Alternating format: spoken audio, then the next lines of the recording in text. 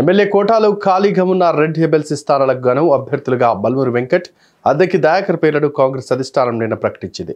ఈ మేరకు నామినేషన్ వేసేందుకు రెడీగా ఉండమని వీరిద్దరికీ సూచించింది. కట్ చేస్తే రాత్రికి రాత్రి సీన్ రివర్స్ అయింది. ఏమైందో తెలియదు కానీ కాంగ్రెస్ నేత అద్దంకి దాయకర్కు బిగ్ షాక్ ఇచ్చింది కాంగ్రెస్ అధిష్టానం. అద్దంకి పేరు లేకుండా బల్బూరు వెంకట్ మహేష్ కుమార్ గౌడ్ పేరును తాజాగా విడుదల చేసింది. గురువారంతో ఎమ్మెల్సీ ఎన్నికల నామినేషన్లకు గడువు ముగినుండగా బుధవారం అభ్యర్థులను ప్రకటిస్తూ ఈ మేరకు Congress general secretary KC Venugopal ఆదేశాలు జారీ చేశారు.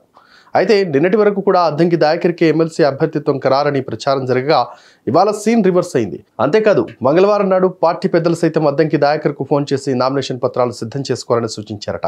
దీంతో ఓ పక్క అద్దంకి అనుచరులు సంబరాల్లో మునిగిపోయారు.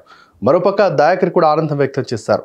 తాజాగా అద్దంకి దాయకర్ పేరును తొలగించి ఫైనల్గా బల్బూరు వెంకట్ మహేష్ కుమార్ గౌడ్ పేరును తెరపైకి తీసుకురావడంతో ఆనందాలు కొద్ది గంటలోనే ఆవిరయ్యాయి. దీంతో అద్దంకి దాయకర్ శ్రేయభిలాషులు సన్నిహితులందరూ షాక్ అయ్యారు. అసలు కాంగ్రెస్ పార్టీలో ఏం జరుగుతుందో తెలియక సతమతమవుతున్నారు. ఏదేమైనా సరే ఆశ చూపించి చివరి నిమిషంలో కాంగ్రెస్ పార్టీ హ్యాండ్ ఇవ్వడం సరికాదని అతని సన్నిహితులు కోరుకుంటున్నారు. ఇప్పటికైనా కాంగ్రెస్ అధిష్టానం అద్దంకి సముచిత స్థానం కల్పించి ఆయనకు న్యాయం చేయాలని కోరుతున్నారు.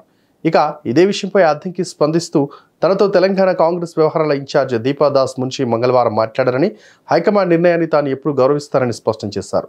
ఇక గవర్నర్ కోటాలో అద్దంకి ఎమ్మెల్సీ వచ్చే ఛాన్స్ ఉందని పొలిటికల్ సర్కిల్లో జోరుగా ప్రచారం సాగుతోంది. కాంగ్రెస్ పార్టీలో ముందు ముందు ఏం జరుగుతుందో చూడాలి మరి.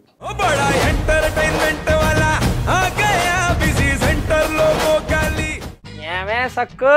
సక్కేంద్ర సక్కు సక్కు బాయ్. బాయ్ బాయ్. బాయేంద్ర భార్గవ్ బాయ్ బాయ్ గిరాకొచ్చే టైం ఏంది? కస్టమర్లు వస్తా నడు రేడికల్ పిగురి కస్టమర్లు వస్తున్నారు కదా మాత్రం పొగరు ఉంటది మరి. తగ్గించేద్దాం పొగర్ని. డబ్బులు కట్టేస్తామేంటి కొంప తీసి? లేదు కస్టమర్లు ఆపేద్దాం పదా మరి మన బిజినెస్ స్టార్ట్ చేద్దాం.